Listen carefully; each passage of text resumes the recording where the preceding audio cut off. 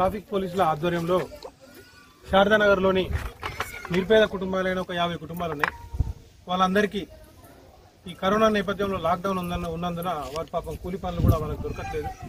దానివల్ల ఈ రోజున వాళ్ళకు ఒక నాలుగైదు రోజులకు సరిపడా కూరగాయలు మా ట్రాఫిక్ పోలీసుల తరపున కొంతమంది దాతల సహకారంతో అందించడం జరిగింది. దానిలో భాగంగానే ఇక్కడికి వచ్చి ఇక్కడ నిరుపేదలైన కుటుంబాలు ఉన్నాయి కాబట్టి ఒక యాభై మంది కుటుంబాలకు ఇవ్వడం జరిగింది.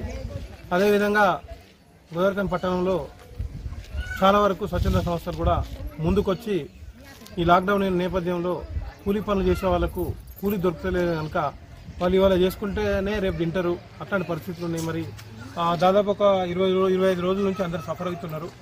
ఇంకొన్ని రోజులు గడ్డికాలం ఉంటుంది. ఈ ఇంకొన్ని రోజులు కూడా దాతలందరూ కూడా సహకరించి వాళ్ళకు తోచిన విధంగా సహాయం చేయాలని చెప్పేసి ఎదుటి వాళ్ళకు ఆపదలో ఉన్న వాళ్ళని ఆదుకోవాలని చెప్పేసి ఈ సందర్భంగా నేను తెలియజేస్తా ఉన్నాను.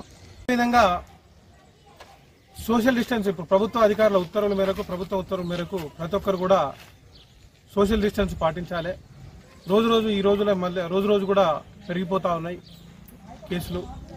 దానివల్ల అవసరం ఉంటే తప్ప బయటకు రావద్దు. బయటకు వచ్చిన వ్యక్తి కూడా అతి తొందరలో తన పని యొక్క ఇంపార్టెంట్ పని ఉంటే ముగించుకొని లోపలికి వెళ్ళాలి. బయటకు వచ్చేటప్పుడు కూడా అందరు మాస్కులు ధరించాలి.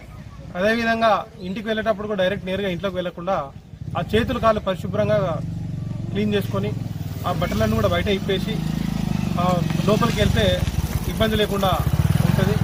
దీన్ని అజాగ్రత్త అజ- అజాగ్రత్త చేయబట్టి ఒక్కరికి చేయబట్టి అది ఒక్కరితో పోదు.